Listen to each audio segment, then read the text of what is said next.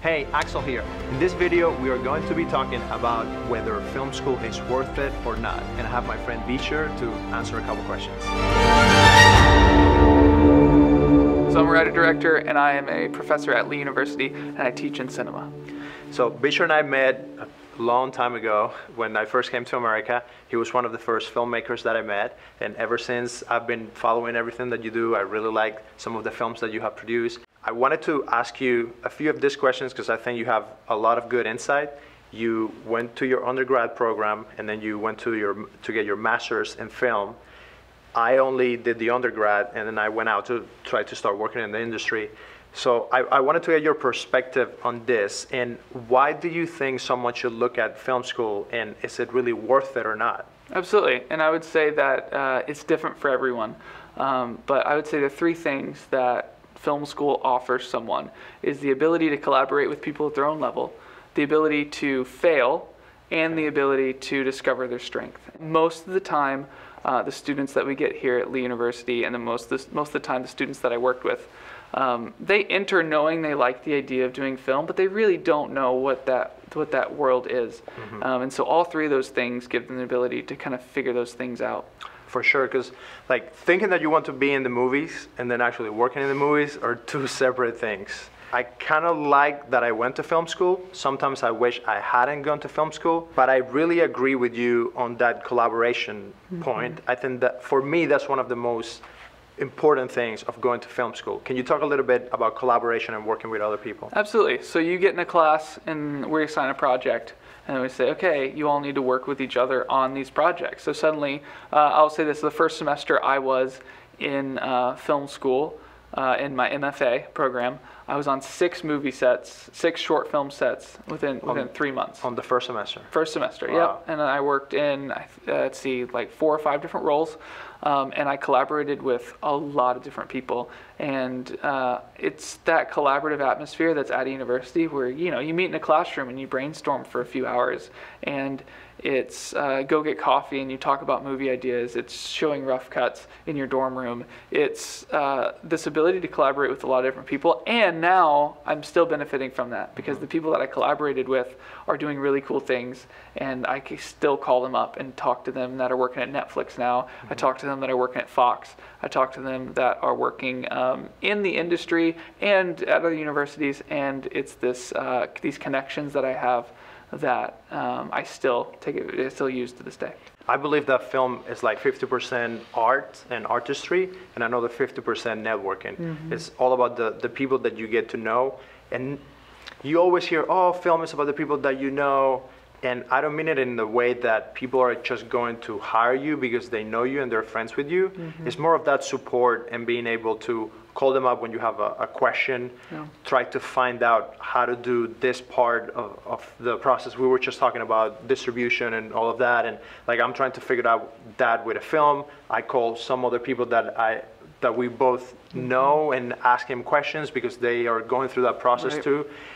That is is something that is kind of hard to put a price on because you don't know until you're down there and you have the problem and then you know, oh, I can call Beecher because he will know mm-hmm. how to get this done, or maybe he knows someone who knows someone. So Absolutely. collaboration is, is really important. What's another thing that you would say is, is a good point, yeah. selling point for people deciding whether to go to film school or not? So in this atmosphere of collaboration, you have these these kind of forks in the road where it's like, okay, we could go this idea that's really risky and really out there and really crazy, or we go this idea, it's kind of safe and by the book film school is an opportunity to take those risks mm-hmm. and to do things that may fall on their fa- fall on its face or it may be really really great. Of those six films that i was on that first semester i would say four of them were really really bad.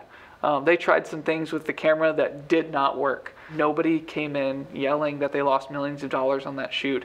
We just went oh wow okay yeah apparently uh, flipping a camera in the ocean uh, you know doesn't work uh, the way we thought it would. And so it's this ability to experiment and fail and then learn from those failures. And you just don't get that as much in the industry where if you go in as a PA, um, you know, they want you to do your job right 100% of the time. And if, if you decide to take a risk and it doesn't work out, uh, nobody's really wanting a, a, PA to take these kind of creative risks. Yeah. You're just kind well, of you, do you don't have a chance to take any creative risk because right. you're not going to do it, be doing any creative things. What do you think of people that say, Well, but you can also create an experiment with your iPhone in your backyard.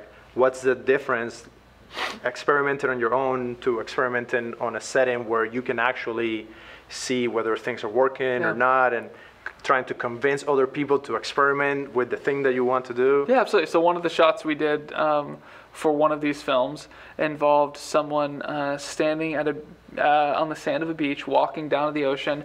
We had I don't know a 50 foot crane with a red Epic on it, which is a camera that you know a lot of legit legitimate people shoot with, um, and they did this like move where as they walk through it flips over in the air and then flips around backwards. It didn't work. It didn't look good. It had a lot of mistakes in it, but you can't you can't figure that stuff out with an On iPhone. yeah. And you can't figure that out unless you have the help of a lot of people. I mean, there was a crane operator involved in that. There was a mm-hmm. first AC. There was a DP. There was a director. There was a producer. All those people had their hands on that that shoot, and that's the kind of experimenting that film school offers. Yes, you can get your iPhone, you can go do stuff, and I actually encourage that. Mm-hmm. I think it's a great great thing to do. But if you're wanting to experiment in a little larger sense, and then two, the other thing it gives you is you go and shoot these films and you experiment with them and then it plays at the end of the semester against all these other student films and you will see what works and what doesn't work. Yeah. and you're going to see that one guy that you didn't think you know was really going to come up with that great of a film his experiment worked beautifully. And now you're going oh i can do that for my later stuff. Let me try working with him in the future. Let me try um, that technique. And so it's this time once again it's a safe place to fail which uh, once you're actually in the industry where money is at stake constantly, they they don't really want uh, you to be failing at all. Yeah, it's really hard to experiment when you have so much more money on the line. All that experimentation, it's not only with different ideas and different concepts, but also you can experiment in different departments. Absolutely.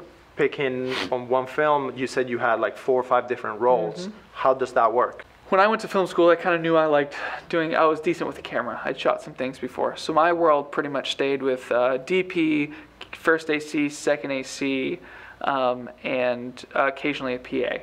So that was kind of where my, my world was. But what I see frequently with students as they enter is saying, I want to be writer director. That's what most people say. And then they have to write their first screenplay. And they go, Oh, I don't really like writing. I really like being creative. I don't like writing. And then maybe I like, uh, actually like building the world or building the set for my film, but I don't like writing the story that's in it. So now suddenly, um, you know, a year or two in, they're going, let me try the art director thing. So they go and do the art director thing on a short film. They go, oh, I love this. Yeah. Um, or uh, first AC is like, you know, let me try the producing thing. Or someone enters the producer says, oh, I want to try. Um, I want to try dolly grip. I mean, there's you can try, you will try in film school Yeah. many, many different roles, and you'll figure that out. So, I'd say almost all of uh, the students that come to Lee are unsure of what they want to do in the film industry. They're like, I think writer director, I think producer, I think editor, and I would say 75% of the time, by the time they graduate, they have a different role. That's simply not really allowed in the film industry. Mm-hmm. If you're a on-set PA,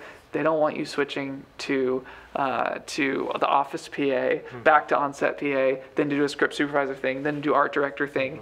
Um, that doesn't really fly in the film industry. They want you to just pick a track and stay in it. Yeah. But oftentimes you don't know. I mean, especially the students we get here, they do not know what the film industry is. They love being creative, they love being collaborative, but they don't know what it is. And that's ultimately all three of these things go together. Ultimately, what I say is, if if there's a student or if there's someone that is loves the idea of film but doesn't know exactly what that entails or exactly what they like about it, then I think film school is absolutely the place for them because it gives them a safe place to figure all that stuff out. For me specifically, I knew what I wanted, so I, I did my undergrad. I had an opportunity to come to Lee, and after that, I was like, okay, I'm ready to go out. Yeah. For you, you had an opportunity to get your master's. Mm-hmm. I think if you're watching the video, you're probably thinking about the film school or just going straight into the industry. As long as you can figure out your finances and it's not something that is going to mm-hmm. drown you afterwards. Yeah, I mean, I would say student debt's a big thing to think of too, because mm-hmm. if you want to go into the film industry, whether you have a four-year degree or not, um, you're going to probably start at the bottom, and it doesn't pay the most. Mm-hmm. And so if you have, you know, $800 a month of student debt that you're paying back, you're not going to have the ability. You're going to have to take a job that you don't want in a different field. So student debt's something absolutely you should consider. I really believe that if you do the four-year, you will uh, figure out a lot about yourself and a lot about what you want to do. Great, so I hope you find this video useful. If you have any questions, please let us know in the comments. Also hit the like button, it really helps with the YouTube algorithm.